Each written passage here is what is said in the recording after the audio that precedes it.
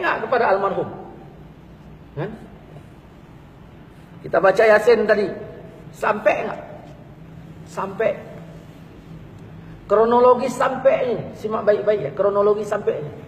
Karena saya nggak bisa ngomong kalau nggak ada apa namanya uh, arahan ayat-ayat ini.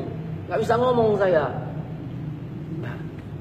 Begitu saya baca Al-Fatihah, saya niatkan pahalanya untuk ayahmu almarhum. Ya. Nah, saya baca Fatih, Fatihah. Begitu saya baca, coba baca dalil laha maka sabat wa alaiha maktasabat. Baik yang kau kerjakan baik bagimu. Saya baca tadi Fatihah di tempat si Adi. Dah, saya baca Fatih, Fatihah. Baik enggak? Baik. Kata Allah baik yang kau baca baik bagi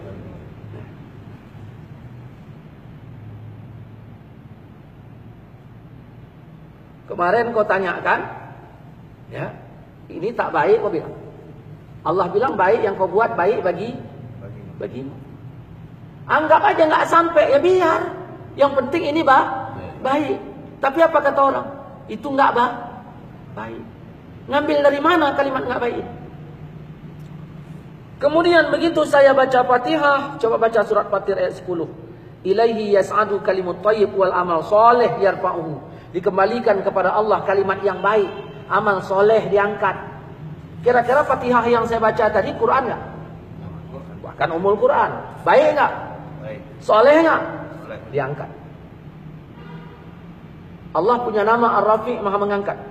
Allah punya nama Al-Mujib maha menerima. Terus bagaimana? Allah punya nama Al-Mu'id maha mengembalikan. Pahala Fatihah yang saya baca tadi dikembalikan. Untuk siapa itu? Untuk yang baca. Yang baca saya kan? Ya. Dikembalikan untuk untuk saya. Oke, udah kembali untuk saya pahala Fatihah tadi. Oke. Begitu sedang proses kembali, ya, ini lihat ke arah kemari ini. Nah, anggaplah pahala Fatihah ini tadi sedang kembali. Nah, begitu mau kembali kepada saya, terarah pahalanya ke kubur ayahnya Syadi. Tentu kita minta dalil. Dalilnya mana? Innama a'malu bin niat wa innama likulli imri'in manawa. Hanya saja segala amal itu dengan niat dan hanya saja bagi tiap-tiap seseorang apa yang diniatkan. Makanya dalam hadis yang ditarjih oleh Imam Baihaqi, Al-Fatihatu lima quri'at lahu. Fatihah dapat dibaca kepada sesuatu yang dimaksud. Niatnya tadi untuk siapa? Untuk almar Almarhum. almarhum. Udah. Ini niatnya untuk almarhum. Terus nah, tanya lagi. Kalaulah bacaan kita udah kita niatkan kepada almarhum. Kita berapa yang didapatkan almarhum? Kita kembali kepada Riyadus Salihin. Siapa yang membaca Quran satu huruf pahalanya 10. Niat pahalanya itu untuk siapa? Untuk almarhum. Nah, maka didapatkannya lah per huruf 10. Dan ini ya di dalam kitab Ar-Ruh pun halaman 17 kalau nggak salah saya disebutkan di situ para sahabat Ansor itu pun bergantian membaca Quran di kubur.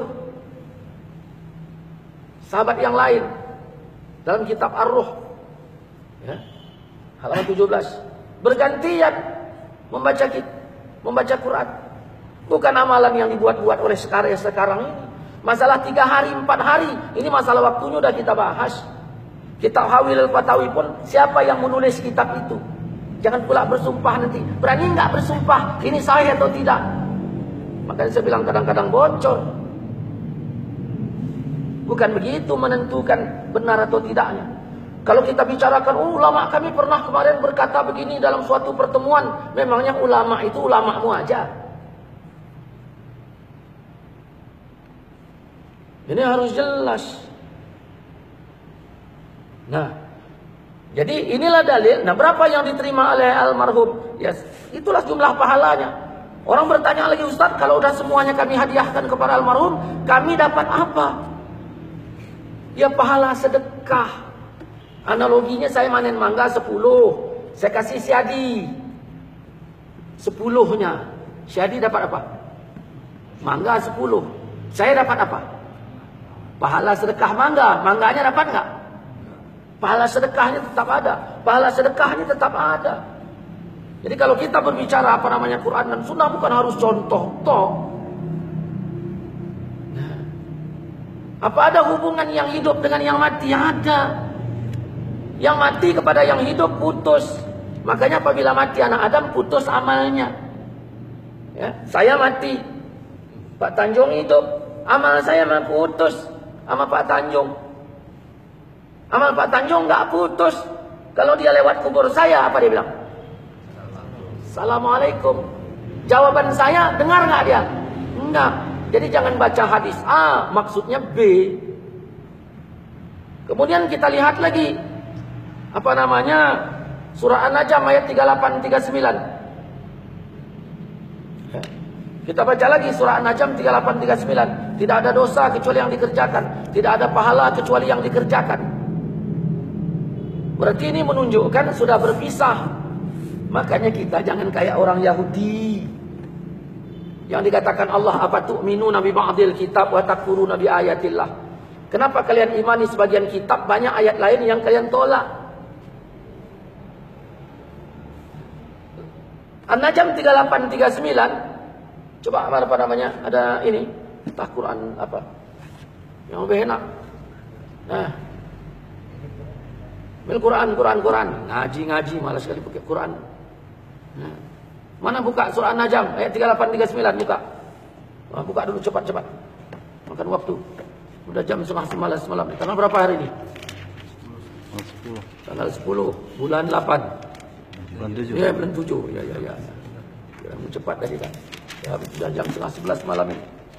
Karena jam 38, 39. Tengok dulu daftar isinya. Daftar isinya tengok. Karena jam.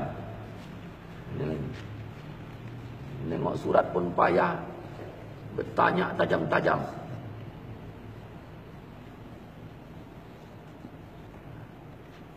Dapat? Surat 53. Ya udah yang dapat surat baca terus sana.